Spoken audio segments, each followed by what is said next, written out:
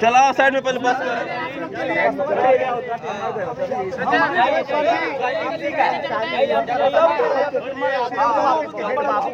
ऐसा कोई नहीं आप फैयार मत करें चाहे मैं कर रहा हूँ हमने सिविल पुलिस को बुला दिया है वो समझेगा बुझेगा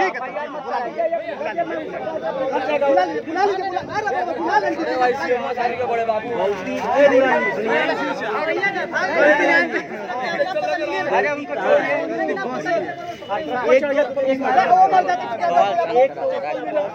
कोई भी अनुबंधित बस बीच रोड पे खड़ा हो जाता है और वो भी मारा है है वो पहले हाथ चलाया है वही पहले चलाया है डिपो है तो डिपो में बस होना चाहिए फिर पहली बात पहले वही मारा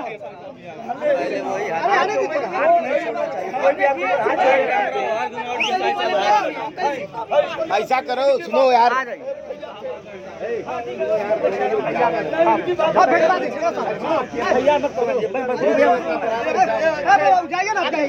અમારી બાપ ને ફર જઈએ